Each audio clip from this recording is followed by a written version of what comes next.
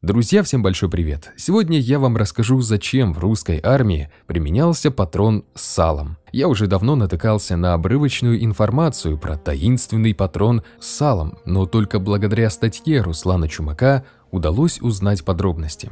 На самом деле такой патрон предназначен для учебной стрельбы. Острая необходимость в патронах для учебной стрельбы, или как их еще называли короткобойных патронов, возникла в середине 1890-х годов, когда русская армия перевооружалась новой трехлинейкой образца 1891 года. В это время потребность в боеприпасах для проведения учебных стрельб была очень велика, Вместе с этим патронные заводы еще не вышли на уровень производства новых патронов, позволяющий удовлетворить все потребности войск. Кроме того, в процессе учебных стрельб выяснилось, что пули новых трехлинейных винтовок наносят повреждения мишенному оборудованию, пробивают пулеулавливатели и боевые брустверы стрельбищ, тем самым представляя угрозу окружающим людям. Таким образом, сформировалась необходимость в специальном патроне, который, будучи надежно работающим в механизмах боевых винтовок, обладал бы сходными с боевыми винтовочными патронами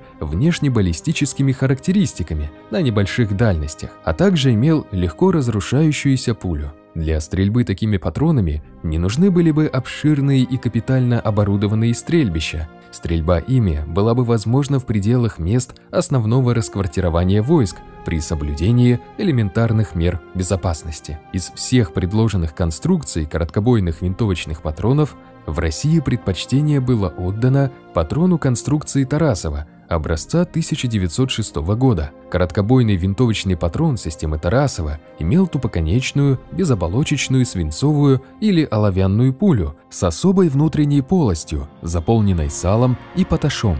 Поташ был введен в состав просальника для нейтрализации кислотных остатков порохового нагара и, соответственно, препятствования образования ржавчины в канале ствола. При выстреле сало выдавливалось через боковые отверстия прямоугольного сечения, защищая тем самым канал ствола от свинцевания, которое ухудшало меткость стрельбы. Короткобойный патрон Тарасова на малых дальностях стрельбы до 50 метров имел характеристики кучности, близкие к характеристикам боевого патрона – при этом деревянный щит толщиной 25 мм пуля Тарасова могла пробить с расстояния не более 10 метров. В случае рикошета пуля легко сплющивалась или разбивалась на куски. Максимальная дальность стрельбы патроном системы Тарасова не превышала 500 метров. Отдача при стрельбе из винтовки была едва заметной.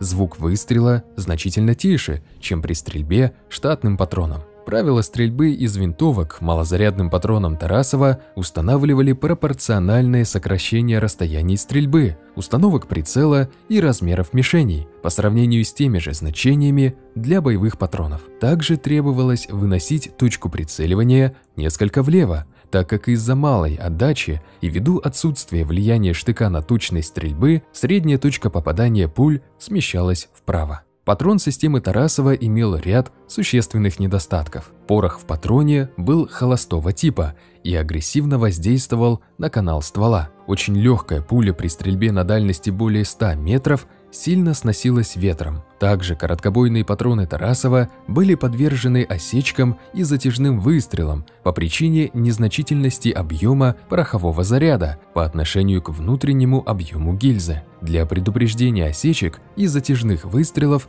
каждый раз перед заряжанием рекомендовалось встряхивать патрон, чтобы осадить порох капсулю. Позднее выяснилось, что патроны Тарасова нельзя было долго хранить, так как сало проникало в порох, и заряд приходил в негодность. Широкого распространения короткобойные патроны конструкции Тарасова не получили, хотя и использовались в РККА для обучения стрельбе вплоть до конца 20-х годов. Тарасов не единственный, кто использовал подобную систему защиты ствола. Аналогичные, только боевые патроны использовались и американцами.